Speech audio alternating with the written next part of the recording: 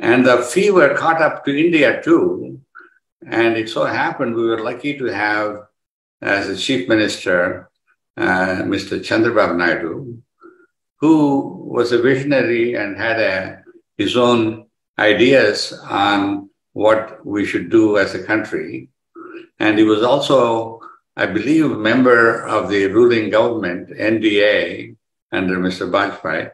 Anyway, and uh, so there was a lot of discussion, and um, and he invited Bill Gates to Hyderabad, who came, and uh, he was started using PowerPoint, and I was kind of amazed because I came into uh, Hyderabad at that time, 97 and 98, and uh, he was uh, very proudly using PowerPoint. Uh, he, from what I know, he did not create it. It was created by Sudan, his, uh, you know, uh, special secretary for IT. But anyway, he was using PowerPoint to explain things. And there was also at the same time uh, number of uh, IT companies were started, like TCS was already there since the middle, and uh, Infosys and so on. All of them, uh, Devang Mehta, who was the, uh, you know, who created this NASSCOM and became the first president, was um, kind of in Hyderabad, and together uh, in, in this cauldron of act- uh, activity in India, uh, they came up with the idea we need to, you know, kind of create an institution which can train high quality professional in the information technology.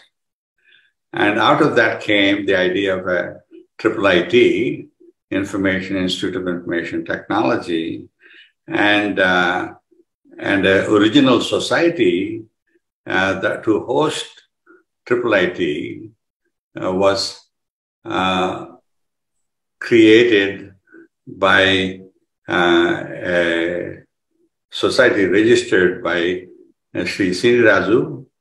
And uh, Devang Mehta, who is no longer with us, and Ram Mynampati, three, three of them uh, were the co-signers of the society at that time. And um, so this was all done, I believe, at the instigation of the chief minister, because they wanted to start a triple IT. They didn't know how to do it and what to do. And, uh, and we were very fortunate at that time to have two visionary IAS officers, Mr. R. Chandrasekhar and Mr. Uh, Ajay Sawhney, uh, both of which were whom were not only knowledgeable in information technology and computers and so on, but were actually providing significant uh, conceptual and visionary leadership in the AP government. So with so he, Mr. Chandrababu Naidu asked them to say, you create this institution and get it started. And they basically said, if we created it like every other university, it will never, you know, amount to anything. So they wanted to make it completely autonomous with no uh, you know, any kind of no links or no control from any bureaucratic machinery in the government, which turns out to be the big problem for most of the other uh, triple ITs and other institutions that have been started. They have some umbilical cord to the government who still can control what they do. So uh, it is not true that the government did not provide support.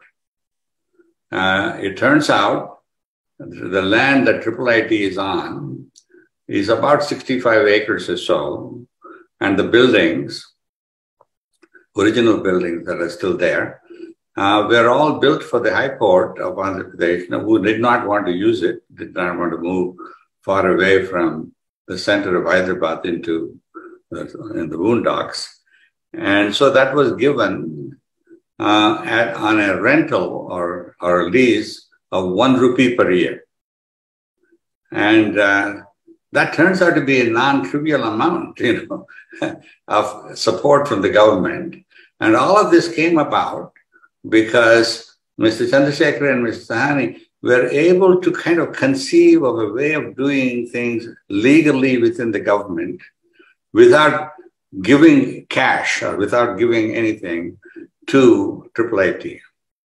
At the same time, uh, I got a call from Mr. Chandrababu Naidu, I was in the USA, and said, we are starting this institution. We want you to be the president. I said, absolutely not. I can't be the president of the thing because, you know, I'm already fully employed and doing other things. This was the time I was the dean of the School of Computer Science at, at Carnegie Mellon and also on the President's Information Technology Advisory Board, playing a, in a key role. Later on, I became a co-chairman of the, the thing.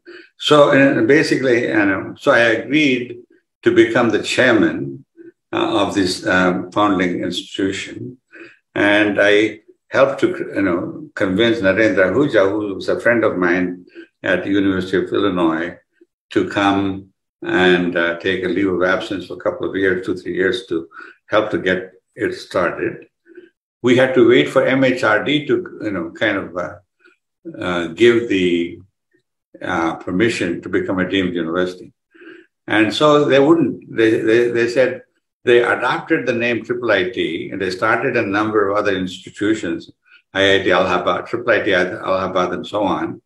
Then suddenly they declared Triple IT is our name. You can't use it. And, and it turned out it was trademarked and uh, you know copyrighted by Triple IT Hyderabad. But that doesn't matter. It didn't matter because they were in power. Mr. Murli Manohar Joshi, who's a, you know, was the minister of, for MHRD, and he said, "Nothing doing. You know, you have to change your name."